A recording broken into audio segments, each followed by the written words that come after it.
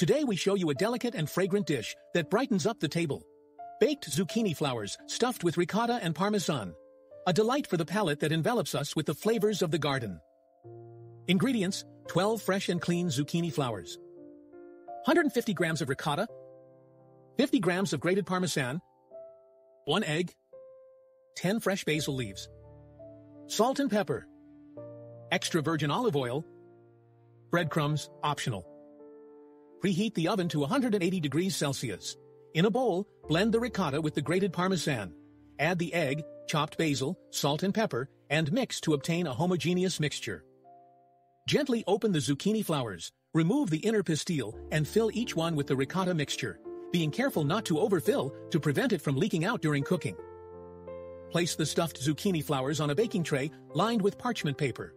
Brush them lightly with extra virgin olive oil, and if desired, sprinkle with some breadcrumbs for a crispy crust. Bake the zucchini flowers in the oven for about 15-20 minutes or until golden brown. Serve them hot as an appetizer or side dish. Don't forget to subscribe to our channel to discover more tasty recipes and visit our website for insights and culinary tips. Add a touch of creativity to your zucchini flowers, stuffing with desalted anchovies or raw ham for a bolder taste. The recipe adapts to your preferences.